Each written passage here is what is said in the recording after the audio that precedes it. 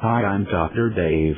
Craniosynostosis is a medical condition in which some or all of the sutures in the skull of an infant or child close too early, causing problems with normal brain and skull growth.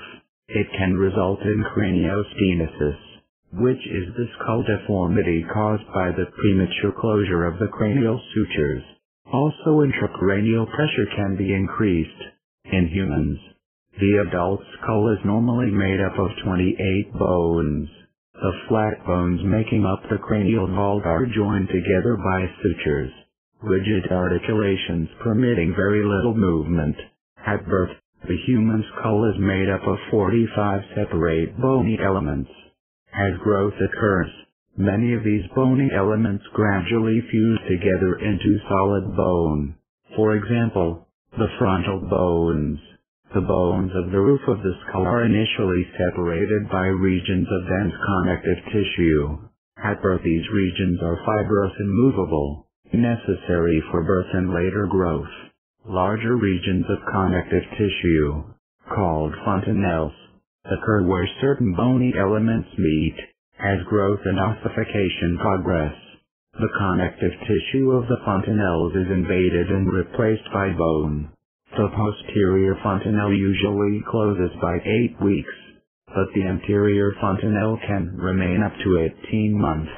When one or more sutures fuse prematurely, skull growth can be restricted perpendicular to the suture. If multiple sutures fuse while the brain is still increasing in size, intracranial pressure can increase. Primary craniosynostosis is believed to be a result of primary defect in the mesenchymal layer ossification in the cranial bones.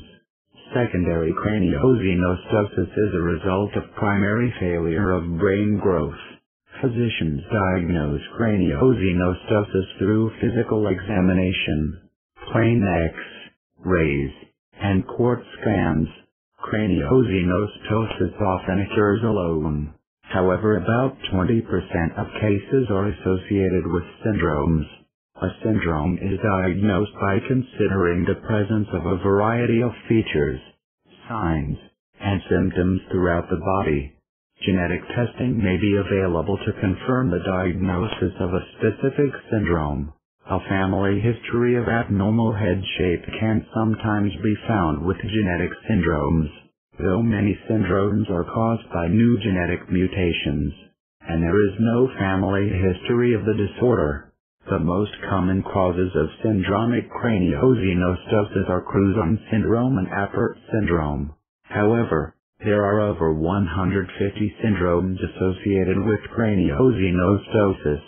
The following table lists some of the craniosynostosis syndromes, as well as prominent additional symptoms that are found in these syndromes. This is not a comprehensive list of all symptoms that could occur within each syndrome.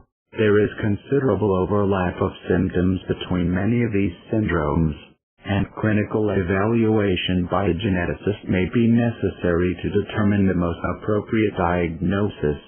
What's the treatment for craniosynostosis? Surgery is typically used to separate the fused sutures of the skull as well as to reshape the skull. To treat the cosmetic troubles, a combination of orthodontic and orthognathic surgery can be used to relieve some of the midface deficiency. Typical surgery begins with a zigzag incision from ear to ear across the top of the head. The scar left by this type of incision makes the hair look more natural than that left by a straight incision would. Leroy clips are typically used to curtail bleeding, as cauterization would not result in an aesthetically pleasing result upon healing. Once the scalp is peeled back, pilot holes are drilled through the skull. These pilot holes are then connected, separating the skull into several pieces. Once reshaped, these pieces are placed back on the head, typically in an altered configuration, and held together by a combination of dissolving sutures, plates, and screws. These plates and screws are typically composed of a copolymer comprised of polyglycolic and polylactic acid and will break down into water and carbon dioxide within a year.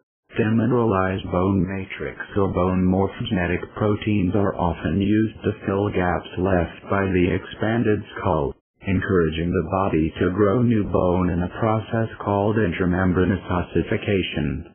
Once the hemostatic scalp clips are removed, sutures are again used to close the incision.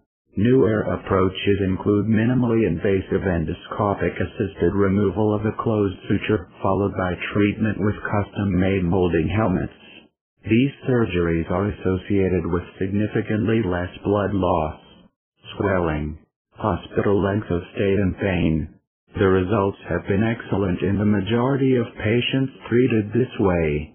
Endoscopic surgery, however, is indicated only for very young infants less than six months of age. Older children require the more extensive surgery described above. Thanks for listening. Goodbye.